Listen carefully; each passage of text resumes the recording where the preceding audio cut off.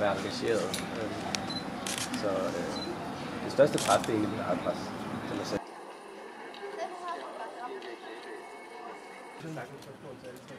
Ja. Jeg svare? Jamen altså, det føles godt. Øh, med så stor opbakning. Øh, og er glade for, i hvert fald ja, at der har der været mange af dem. Øh, og giver noget gode ud. Det er selvfølgelig rigtig dejligt, og det føles øh, ægte, at folket er her. Øh, men som støtter de danske farver. Og, og det gør også lige lidt ekstra. Altså, man kan lige gøre lidt ekstra indsats. Ja, og til orienteringskonkurrence, ja, vi er ikke startet. Det er først i morgen, men jeg håber, at danskerne kommer. I går til cykling. Det var første gang. Øh, og der var faktisk stolt. Øh, og der var rigtig mange fra Danmark, som kom, og jeg var den eneste, der var der. Øh, og der var øh, flest danskere, der kom, øh, så de kom for ligesom at ud. På banen.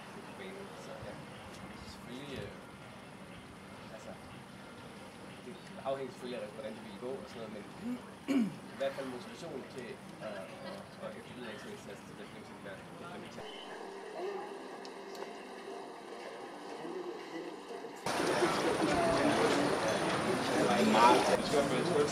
Men vi, vi kører lige vejen fra... Det er det sidste spørgsmål.